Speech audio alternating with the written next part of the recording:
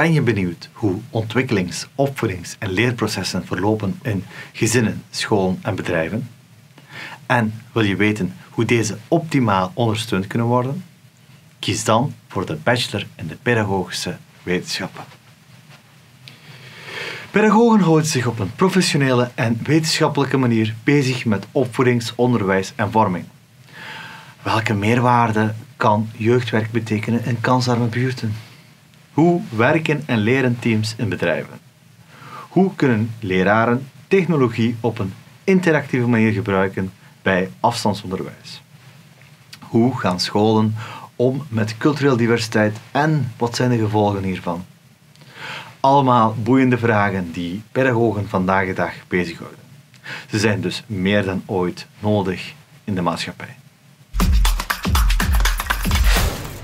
Het programma van de bacheloropleiding biedt een breed academisch kader en is grotendeels gemeenschappelijk. Het gemeenschappelijk pakket uh, aan vakken bestaat uit vijf groepen. En de eerste groep zijn de algemene pedagogische vakken waarin je een aantal basisconcepten uh, krijgt aangereikt. Zij vormen de basis van de opleiding. In het tweede deel zijn de specifieke pedagogische opleidingsonderdelen, waarin je je verdiept in twee centrale wetenschapsdomeinen, namelijk uh, onderwijs- en vormingswetenschappen en orthopedagogiek. Naast pedagogische wetenschappen maak je ook kennis met een aantal aanverwante basisdisciplines, zoals sociologie, psychologie en biologie. Ook deze vormen belangrijke bouwstenen in de opleiding omdat ze je horizon verruimen. In de vierde groep zijn de vakken over onderzoeksmethoden, statistiek, interpreteren van pedagogisch onderzoek. In deze opleidingsonderdelen leer je pedagogisch onderzoek analyseren, evalueren en zelfstandig uitvoeren. Last but not least heb je de bachelorproef in de derde fase van de opleiding. Zeg maar het sluitstuk van je opleiding, waarin je samen met je medestudenten en een organisatie uit de praktijk een vernieuwend pedagogisch initiatief opzet. De bachelorproef is een uniek onderdeel van de opleiding. Je doet beroep op al je opgedane kennis en neemt voor het eerst de rol van de beginnende onderzoeker en pedagoog op. Op die manier mag je kennis met het werkveld en leer je theoretische kennis te koppelen aan concrete situaties en actuele problematieken. Je kan natuurlijk ook de omgekeerde weg bewandelen en eerst iets anders studeren en pas nadien naar de masteropleiding pedagogische wetenschappen komen. Er zijn daarom ook twee verkorte programma's pedagogische wetenschappen.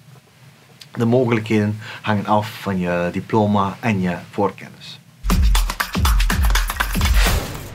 Veel studenten stromen na de bachelor in de pedagogische wetenschappen door naar de master pedagogische wetenschappen, wat natuurlijk meest voor de hand liggende keuze is.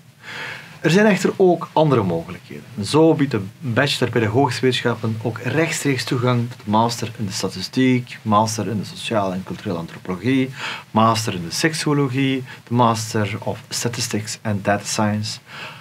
En als je weet dat je later wil uh, lesgeven, dan is de educatieve master in de gedragswetenschappen ook een optie.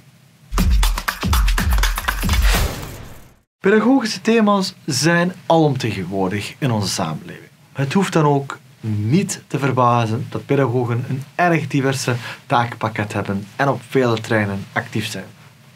Afgestudeerde pedagogen zijn werkzaam in bedrijven, in het onderwijs, in gezondheidszorg, in de culturele sector, bij de overheid, bij een onderzoeksinstelling. Ze bouwen ook pedagogische hulp uit bieden begeleiding aan ouders, leraren, directies.